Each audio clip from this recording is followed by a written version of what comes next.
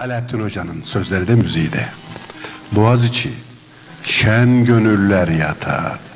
Her bucağı aşıkların ota. Yamaçları sanki cennetin bağı.